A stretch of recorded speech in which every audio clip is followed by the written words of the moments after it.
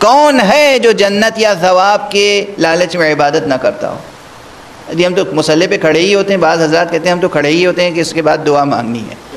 एक साहब के सामने मैंने नमाज़ गफ़ैला के सवाब की तरफ़ इशारा किया कि नमाज़ गफ़ैला वो है जिसके मुतालिक यह है कि यही नमाज़ मगरब और के दरमियान दो रकात नमाज़ मासूम से रिवायत है कि नमाज़ गफ़ैला जो शख्स पढ़ेगा, नमाज़ तमाम नहीं होगी, सलाम नहीं कहेगा सलाम अदा नहीं कर पाएगा कि उसकी हाजत पूरी हो चुकी होगी।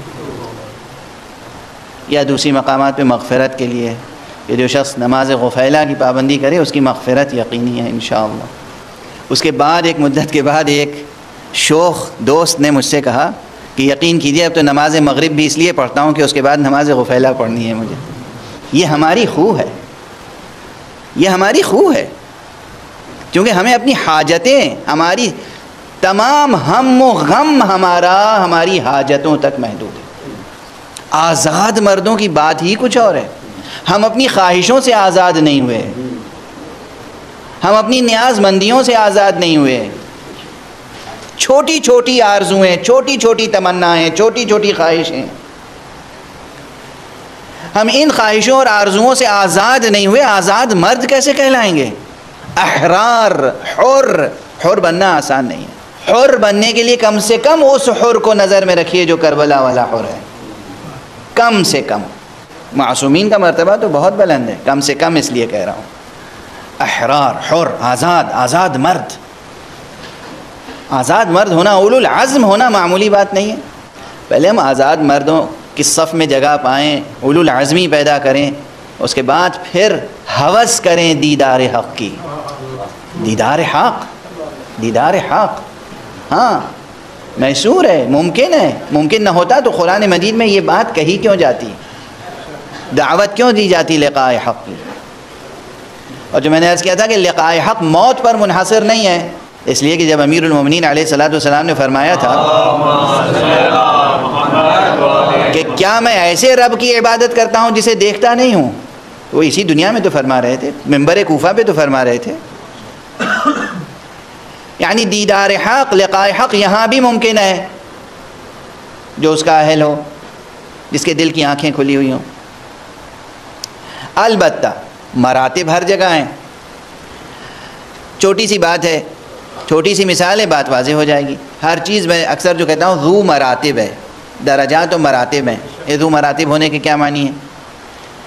जैसे नूर के मरातब में अक्सर बारह अर्ज़ किया है कि नूर के मरातब हैं। इल्म के मरातब इल्मयकीन आनयकीन हक़ुलयकीन इस सब के मरातब हैं। कैसे मरातब हैं? किसी शख्स के पास एक दलील है किसी मसले पर, और किसी शख्स के पास पाँच दलीलें हैं, किसी शख्स के पास दस दलीलें हैं उसी मसले पर। तो जिसके पास एक दलील है और जिसके पास पाँच दलील है, दोनों के यकीन में फ़र्क होगा या नहीं? और जिसके पास दस दलीलें हैं, उसके यकीन में फ़र्क होगा या नहीं? इसी तरह जिसके पास जितनी दलीलें हैं किसी मसले पर उसी एतबार से उसका मरतब यकीन बलंतर है। जिस तरह इल्म के मरातब हैं, उसी तरह शहूद के मरातब हैं। शहूद के मरातब हैं। अब ये सिर्फ़ तकरीब जहन के लिए मिसाल दे रहा हूँ, इसे बिल्कुल हकीकता मुंतबिक ना कर लीजिएगा। शहूद के मसले, शहूद के मरातब क्या हैं? मसलन, कहीं कोई रिश्ता तय करना है बेटी वालों के बात बेटे वालों तक पहुँचा दी, बेटे वालों की बात बेटी वालों तक पहुँचा दी। अलबत्त ये पुरानी रस्में हैं, अब तो ये सब ख़त्म होती जा रही हैं। अब बात पहुँचाने की बात तो बाद में आती है ना। मगर मैं मिसाल दे रहा हूँ, अब पहुँच जाती है। लेकिन जो बाखलाक घराने हैं, अभी वहाँ सब कुछ, वो तमाम कदरें, वो तमाम अखलाक़ी मैार बाकी हैं और ख़ुदा उसको बाकी रखें इन आपने इधर की बात पहले, नाम, उम्र डेट ऑफ़ बर्थ ख़ानदान की मालूम इधर की उधर पहुँचा दी, उधर की इधर पहुँचा दी। सूरत सीरत सब आपने लफ्ज़ों में बयान कर दिया। अब दोनों तरफ़ वाले ख्वाहिश करते हैं कि भाई बेटे की तस्वीर भी मिल जाती तो देख लेते, वो कहेंगे बेटी की तस्वीर भी मिल जाती तो देख लेते। अब ये जो तस्वीर सामने आई तो शहूद का एक मरहला तय हुआ। अच्छा अभी सिर्फ़ आपने वो फ़ोटोग्राफ पेश किया। फ़ोटोग्राफ तो साकी तो जामिद तस्वीर होती है। बहुत सी चीज़ें उसमें खुलती नहीं हैं। आपने कहा, भाई, अब इसके बाद अगला मरहला ये है कि हम एक वीडियो फराहम कर देते हैं। अब वीडियो में शहूद नसीब हो गया, ज़रा उस पहले शहूद से बरतर। और उसके बाद कहीं वाक़ किसी बज़म में मुलाकात भी हो गई। तो ये तीनों मरातब शहूद हैं तो शहूद, मगर तीनों में फ़र्क कितना है? वाज है। जिस तरह वो एक दलील जिसके पास थी, वो भी साहिब यकीन था। पाँच दलीलें जिसके पास थी, वो भी साहिब यकीन है। दस दलीलें जिसके पास हैं, वो भी साहिब यकीन है। लेकिन तीनों के यकीन में फ़र्क है। उसी तरह जिसने फ़ोटोग्राफ देखा, वो भी अपने को साहिब शहूद कहता है। जिसने वीडियो देखा, वो भी साहिब शहूद अपने को कहता है। जिसने वाक़ान देखा, वो भी साहिब शहूद अपने को कहता है। शहूद के भी मरातब हैं। ये मरातब इल्म और मरातब शहूद इन मरातब को गुज़रने की राहें कुरान दिखाता है और हाथ पकड़ के इन राहों से गुजारने का अमल अहले बैत अंजाम देते हैं।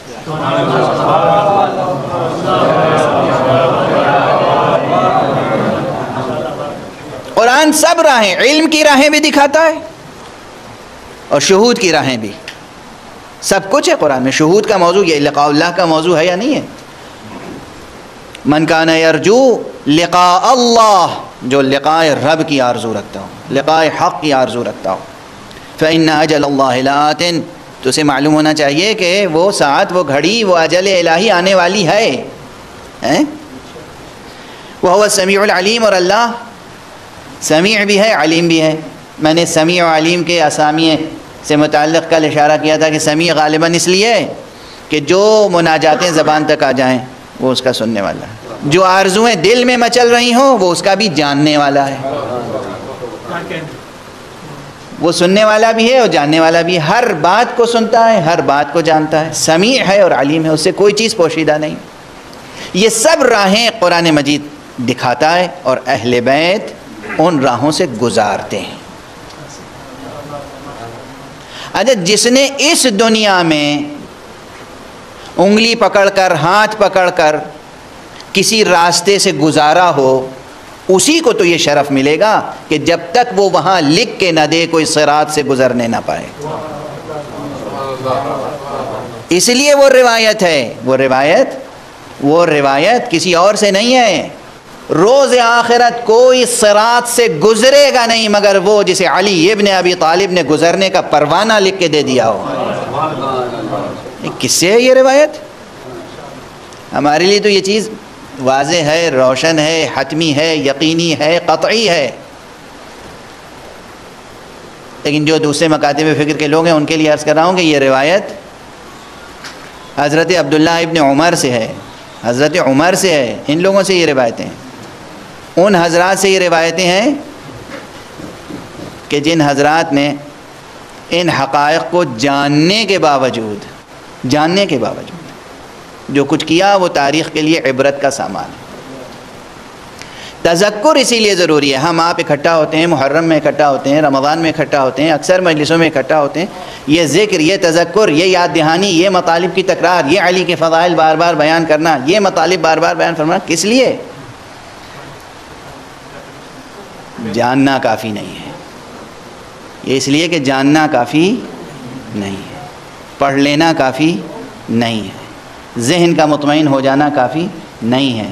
पूरे वजूद के साथ, पूरे वजूद के साथ जिसमें आकल और कल्ब दोनों शामिल हों, किसी हकीकत को तस्लीम कर लेना, कबूल कर लेना। ये असल बात है।